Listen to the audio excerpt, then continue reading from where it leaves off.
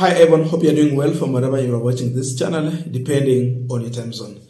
Now, the swearing in of the South African president will be taking place today. William Ruto was supposed to be in South Africa, but he decided that he will not go to South Africa. Instead, he will be, he will be sending his deputy, Rigathi Gachagua, to represent him in South Africa uh, swearing event. And this is what Gachagua shared on his, his social media before departing to South Africa. We continue cultivating, nurturing, and growing bilateral and diplomatic relationship with the Republic of South Africa from strength to strength for socio-economic gain of the people of our two nations. This evening, I left Nairobi for Pretoria, South Africa to represent our President, His Excellency Dr. William Samuel Ruto, at the swearing in of President elect Cyril Ramaphosa as President of the Republic of South Africa.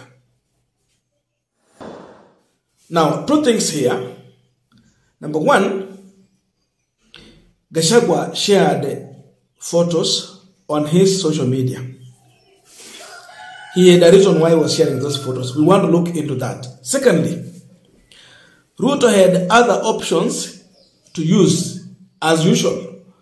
For example, if he's not going, he will be sending Musalia Mudavadi. But this time around, he decided that it is Gachagua whom he's going to send. He liked going outside, like such event they cannot miss, but he decided to sacrifice and send Gachagua. Why? We want to look into those two uh, issues, but before we go deeper into that, just a quick request for those who are watching and you are not yet subscribed, please consider subscribing to our returning subscribers. Must say thank you so much. And again, to all our viewers, please give this video a thumbs up. Thank you so much, and back to this discussion. Now, first of all, why did Ruto choose to or decide to send Gachagua to South Africa?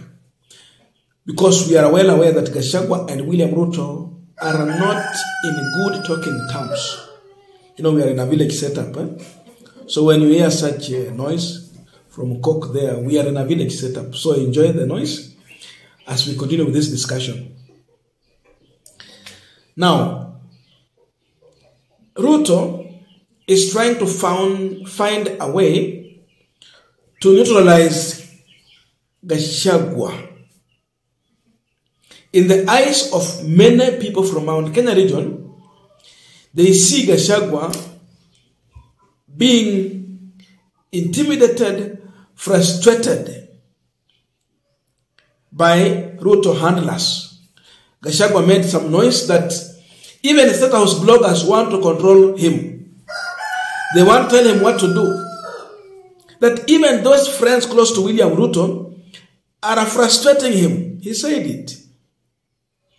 So with this move, Ruto is trying to tell Mount Kenya region that Gachagua is my deputy. I have no any differences with him. I am working with him and I am assigning him duties. So he's trying to change the narrative and uh, the perception among the people that Gachagua is being kicked out of this administration. Ruto does not want to assign him. He has allowed his friends to mistreat him. He's dealing with that.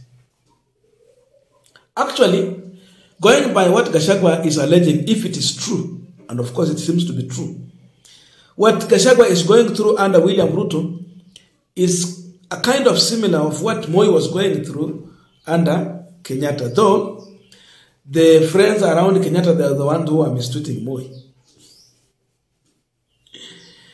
That is what is going on. So Ruto decided that I will not go and I will not send the Prime Cabinet Secretary and the CS for Foreign Affairs, Musalia Mudavadi. Instead, I will have Gachagua to go there so that to neutralize this um, uh, politics that is emerging right now from Mount Kenya because he has, he has become unpopular for allowing leaders to disrespect Gachagua. Secondly, Gachagua has been busy in Mount Kenya.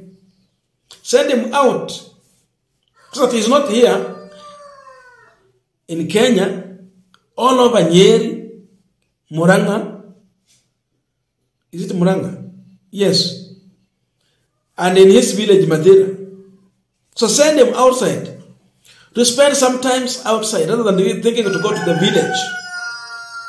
So now he don't have that much time to be in the village. So Ruto decided that because the noise is, is too much, Gachagua is busy on top of Yeko. He has to give him some work and keep him busy elsewhere. And that's why he decided that Gachagua, wewe ndio utaenda South Africa. I will not send Prime CS or anyone else. Because you know they are using this time to push for Raila Odinga's candidature. Anywhere they go, they will be lobbying for Raila Odinga. So it will be either Mudavadi or Raila. Sorry, yes, Mudavadi, Ruto or Raila himself. But now it is Gashagwa, a man I believe he will not be campaigning for Raila Odinga. He will not. But they decided that we will sacrifice and send him in this event. So walisacrifice wakijua kwamba huku moto Gashagwa amewasha moto. It is burning. Mount Kenya region is burning. So send Gashagwa. keep him busy elsewhere, and try to neutralize the ground. Because now he's leading a revolution that is different from what Ruto has been leading in Mount Kenya, which seems to be a threat to one William Samuel Ruto future politics in Mount Kenya. So keep him busy elsewhere. Secondly, or third, now coming to Gachagua, we saw Gachagua using the Kenya Airways, KQ, the pride of Africa. Hivyo ndio wanasema Kenya Airways, the pride of Africa. Now, by the fact that he decided to share these photos, he shared the photo of KQ flight. You can see it. Super amazing flight. And they shared some uh, more photos there when he's being served in the, on KQ, when he's arriving in on KQ, and the video is also outside. You see, when he entered, how he was received there, definitely by Kenya, uh, and sell Kenya, by Kenya. So he is here to promote product Kenya, which is against what his boss did when he had, you know, a chance to visit US. He literally used a chartered flight from here to US, spending whooping 200 million Kenyan shillings just on flight. So he was promoting another business from elsewhere. Saying that now, if we have world leaders and business, you know, people, they see that flight was using, and now they will start using it. So you are promoting business from elsewhere in Gulf. Hii inatoka kule nini Gulf. Haikukuwa Kenya hapa, ilikuwa UAE. So Gashagwa is here to tell his boss that I am promoting Kenya.